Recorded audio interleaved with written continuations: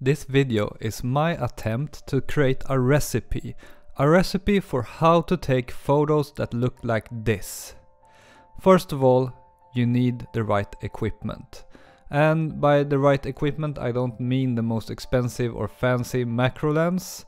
The only important thing is that you have uh, any macro lens. It doesn't matter which one, all of them are good enough to create beautiful photos. What is important though is that you have a flash mounted on your camera and some kind of diffuser. I prefer this sort that is attached to the lens like this. They are pretty cheap. I'm leaving a link in the description of this video so you can check them out. Otherwise it is uh, perfectly good with uh, anything that is white and translucent such as a sheet of paper or perhaps some kind of towel or whatever. So step number two in creating a beautiful macro photo is to go to a botanical garden. These places are especially perfect for insect photography because they contain a lot of different flowers and plants which in turn seem to attract insects. So if you go to a botanical garden in the summer you will find a lot of insects and other interesting things to photograph. In this video I went to uh, Stockholm's finest botanical garden called Bergianska trädgården in northern Stockholm and I spent around uh, one, one and a half hours creating this video and taking the photos you see in it. Number 3. Foolproof settings. There are of course a million different settings you could use to create beautiful macro photos, but these settings are a surefire way to get beautiful macro photos. Set your camera in manual mode. Set your aperture to f8. And it doesn't matter if you have a Micro Four Thirds, an APS-C or a full frame camera. Set your ISO to 100 or 200, depending on what the base ISO of your camera is. Set your shutter speed to 1 250th of a second, or if that's not possible, set it to as fast as possible that can sync with a flash on your camera. Set your flash in manual mode and set the flash strength to 1 16th. That is a good place to start and you will probably discover that 1 16th on your flash will either make your photos look overexposed or underexposed. So adjust the flash strength according to your current lighting conditions. If the picture looks overexposed, decrease the strength and if it looks underexposed just boost the strength. And that is how you adjust your exposure, adjust the power of your flash.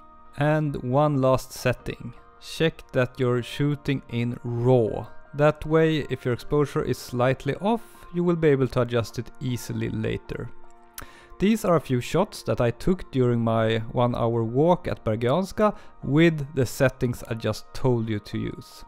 And as you can see, the photos come out sharp, with beautiful, strong colors and perfect exposures.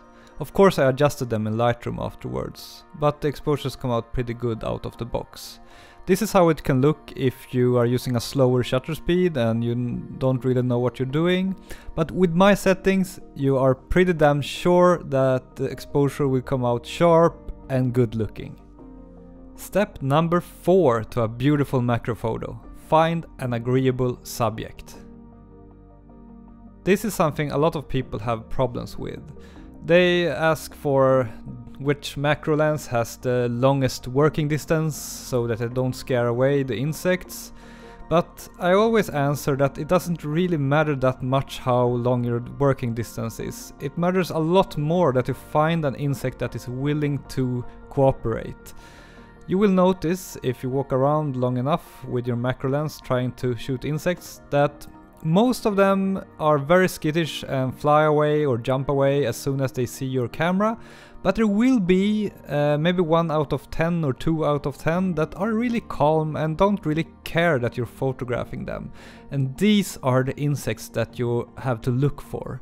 For example, this bee, I mean normally bees are really really shy and fly away immediately, but this one, he didn't care at all that I was photographing him. I could easily spend 10 minutes, 15 minutes photographing him and he didn't care at all. And you have to notice here that my lens has a working distance of around 6 centimeters, so I am pretty damn close to this bee. And this way you will be able to uh, take a beautiful photo because you will have enough time to get the focus and the viewing angle right. Step number 5 to a beautiful macro photograph. Block the sun. This is another really common beginner mistake that you don't really think about the sun and that is shining directly on your subject. A good way to block the sun is by actually having a big diffuser like I have, because then in most cases it will cast a shadow on your subject. And the reason we want to block the sun is that the sun is too strong. It will create really harsh shadows and it will make your subject shine in a way that is not very good looking in a photograph it will make the colors look oversaturated and overexposed in a really bad way. Instead you want to rely on uh, light that uh, bounces off other surfaces and your flash through the diffuser. That will create the most beautiful light and you don't want any direct sunlight shining on your subject. Step number 6.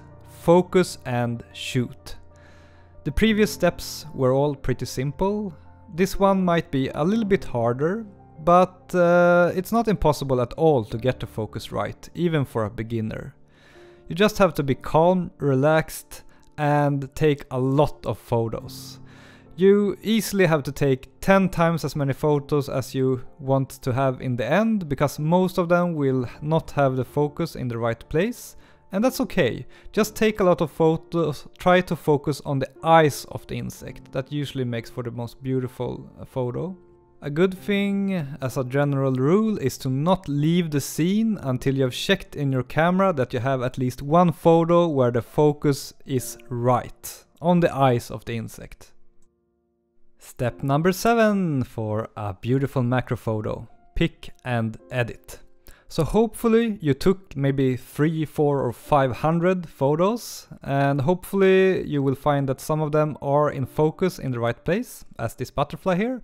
Then uh, thanks to having the photo in RAW, you can just uh, adjust the exposure a bit, adjust the colors a bit, and voila, you will have a beautiful end result.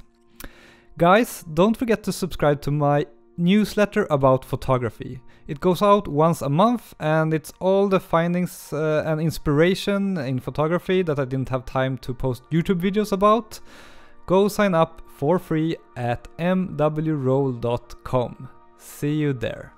And don't forget to give me a thumbs up on this video if you did like it, it helps this channel a lot. And don't forget to subscribe, I'm posting new videos every week. And I have an Instagram account. See more of my work at mwroll on Instagram.